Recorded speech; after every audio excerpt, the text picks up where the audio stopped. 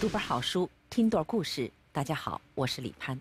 今天我们一起来分享这本《时代楷模》张杰。我们要讲的故事是从二零一六年一月五日晚上开始的。这一天的夜晚，安徽蚌埠发生了一件惊天大案。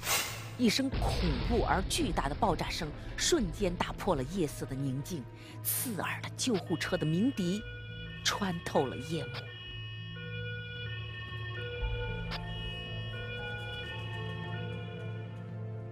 二零一六年一月十二日，蚌埠下起了大雪，气温骤降，格外寒冷。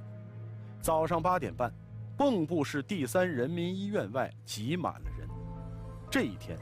一位名叫张杰的重伤特警将被紧急转往上海瑞金医院。闻讯而来的人们，都揪着一颗心，目送着他。有人扶着担架说：“坚持住，好好活下去。”有人悄悄地将一束鲜花放在了他的身边。张杰的全体战友列成两排。长长的队伍从抢救室门口一直站到救护车前。当他经过的时候，每个人都向他行一个标准的敬礼。张杰的身上到底发生了什么事儿？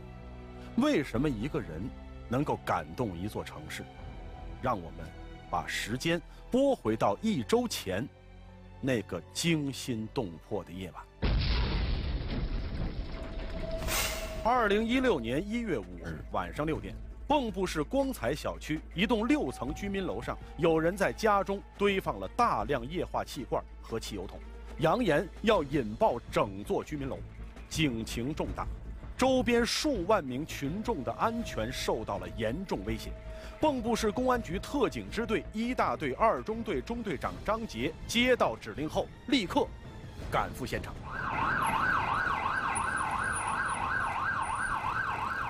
当时，嫌疑人吕某某所在的四零二室门窗紧闭，所有能够出入的门窗上每隔十厘米就钉着一块钢板，所以能够掌握到的室内具体情况非常有限。谁第一个进去，谁肩负的责任就最大，面临的风险也最大。包括张杰在内的五人突击小组分工的时候，原定是张杰的徒弟石磊先上。可这时候，张杰却拦下了他。蚌埠市特警支队支队长孙虎告诉记者：“常常身处险境的特警，多年以来留下了这样一个传统，那就是危急关头带‘长’字的先上，党员先上，结了婚的先上。你五月份就结婚了，这回还是我上。行了，啥也别说了，就这么定了。”已经拥有一个美满的家庭，身为中队长的张杰没有丝毫犹豫，这是一个用生命做出的承诺，浇筑着一个英雄群体生死患难的情谊和临危受命、不惧牺牲的担当。特警队员悄悄地从隔壁翻窗进入了吕某某家的阳台。八点左右，吕某某的情绪突然失控，大叫着：“我要把楼炸了！我们要一起死！”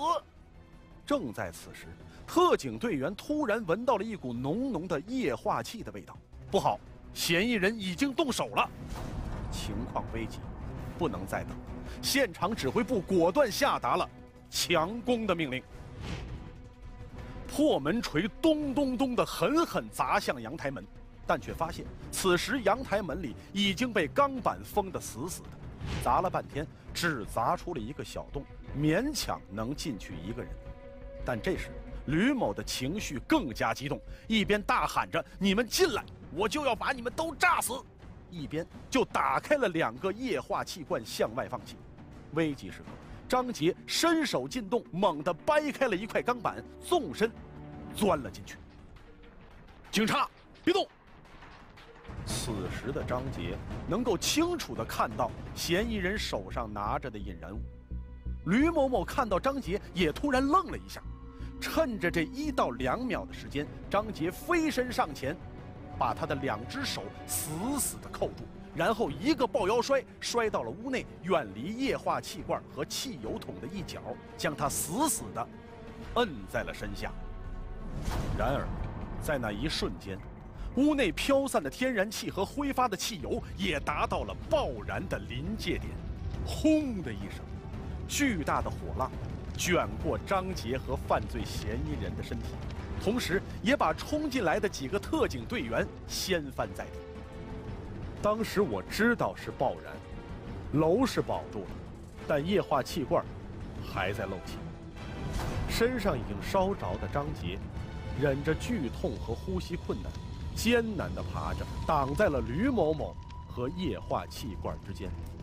直到战友们找到气息微弱的他时，他仍然用手死死地压在吕某某的身上。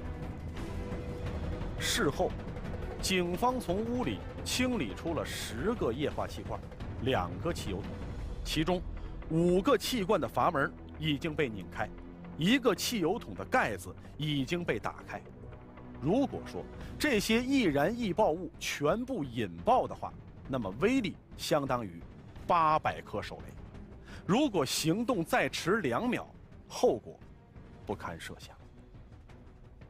从开始破门到处置完成，整个过程只有四十三秒，而四十三秒过后的张杰，全身百分之三十的面积已经有深二度烧伤，脸部尤其严重。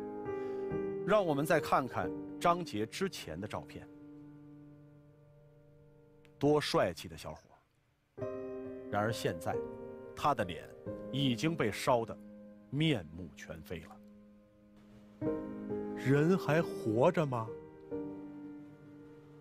年近七旬的张杰父母来到医院，看到哭成一片的战友，颤抖着问道：“张杰因气管被严重灼伤，入院后立即进行了气管切开手术。”看着儿子被推出手术室，父亲张留成立刻上前，但眼前的景象让这个从事了一辈子公安工作、自己也曾因公负伤、缝了一百零三针的老英雄目不忍睹。张杰的父亲张留成回忆在医院见到儿子时的情景，哽咽地说：“身上……”像被烤焦了一样，浑身炭黑，血肉模糊，找不到眼睛、嘴巴。我想摸摸它，可一碰它，就是一手的肉和皮呀。张杰的爱人流着眼泪说：“整整一夜，他都紧紧攥着我的手，身体不停的抖。我知道。”他是真疼啊！三天后，张杰的生命体征稍微平稳，他看见了忧伤的父母。他在手写板上用尽力气写下了四个字：“只有我上。”张杰用自己的毁容、重度烧伤的惨重代价。保住了那栋居民大楼的安全和周边上万群众的生命安全。然而，在后来，张杰面对记者采访的时候，却显得很平静。